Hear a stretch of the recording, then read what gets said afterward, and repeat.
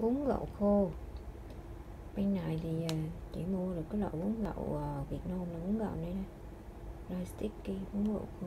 Nó nói là cái này là Việt Nam, còn lại những cái loại khác mà nhìn nó không có có có hợp cho lắm. Cho nên mình chọn mình mua cái loại gạo một bún gạo này.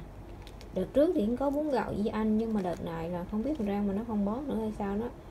Và không thấy không thấy bún gạo Di Anh nữa. Mà chỉ có phở thôi, phở gạo lứt phở thông phở phở, phở bình thường với lại phở gạo lứt của Di Anh. Còn không có bún gạo của Di Anh nữa. Không biết hình như bón không chạy hay sao nó không lấy hòn á. Đây giờ thì đi lục một ít bún gạo để làm gỏi cúng tối nay Ờ, sẽ ăn à, món à, gỏi gỏi cúng nha. Đây là thịt ướp nước mắm hôm qua mới là hôm qua. Đây là bún khô đã luộc leo. Đây là rau salad. Bây giờ sẽ đi làm sản ha cúng sản để ờ, cho ông chồng và ông ăn chứ không là ông không có biết đây là gừng gừng ngâm chưa ngọt. Mình sẽ đi cúng nha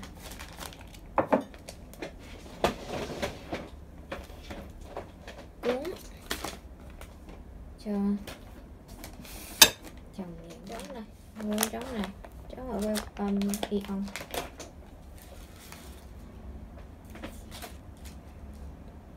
nước ấm vì uh, vợ chồng em mình cũng rửa tay với nước nóng rồi nên cho nó dễ cuốn chứ không cần phải đeo găng tay. Vợ chồng mình em cũng không bón nữa gì nữa có bón có biết gì đâu. Chỉ cần rửa tay sạch rửa tay bằng nước nước ấm nha. Thì ờ, cũng cúng thôi.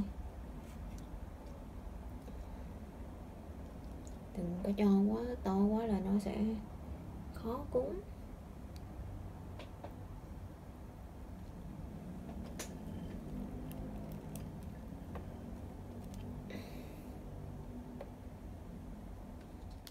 Dòng báo là đang trên đường gì rồi nên chờ mình cúng mình cúng sản ông về ông ăn thì vừa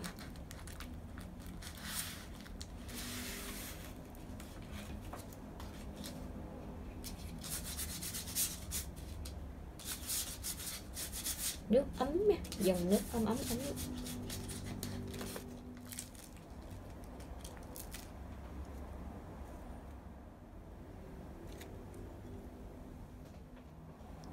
Cho miếng gừng vô cho nó ấm cái bụng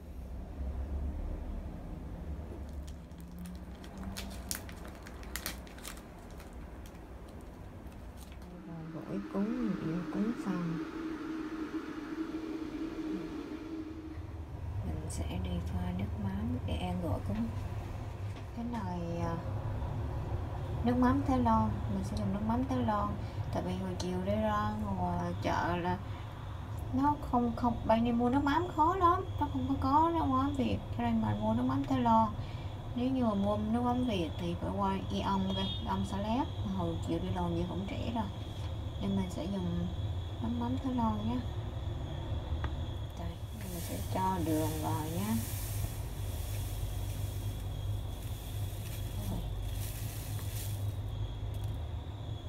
một hơi gió nước sôi.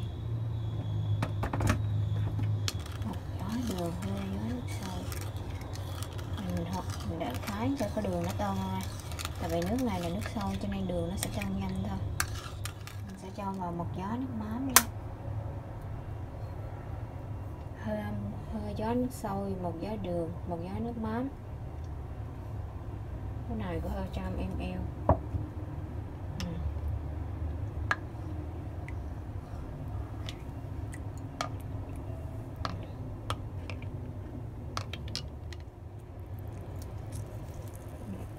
tùy theo cái khẩu vị của mọi người thích ăn tươi thì cho nhiều chanh còn không thích ăn chua thì cho ít thôi. Mình thì mình thích ăn chua cho nên là mình mình bát thiệt là nhiều chanh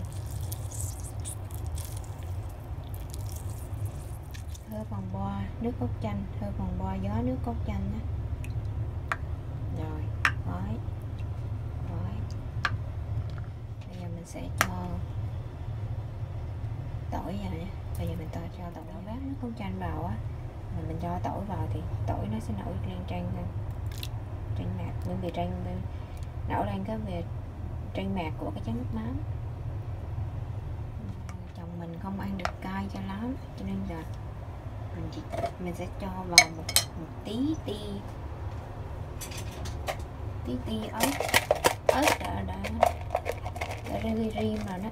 Mình sẽ cho vào một tí ti ớt đã rim rồi đó đây tay lắm á. Cho vừa ít cho nó the the the thôi. Vì chồng mình không có ăn tay được.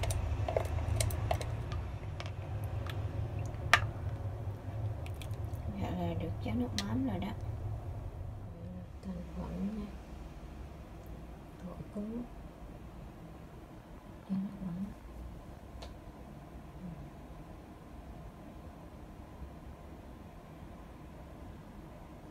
tối nay anh là chồng sẽ ăn cái này Ôi, spicy. I book only little chili but spicy. Near Bali. Ừ. Bali à. Ừ. Ngon ngon. Thịt ngâm nước mắm thấm rồi. Không mẹn lắm. Em. Chấm thêm nước mắm cho ngọt nữa.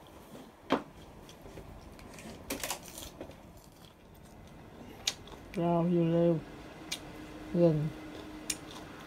Bún. Thịt ngâm nước mắm. Cũng bên trong.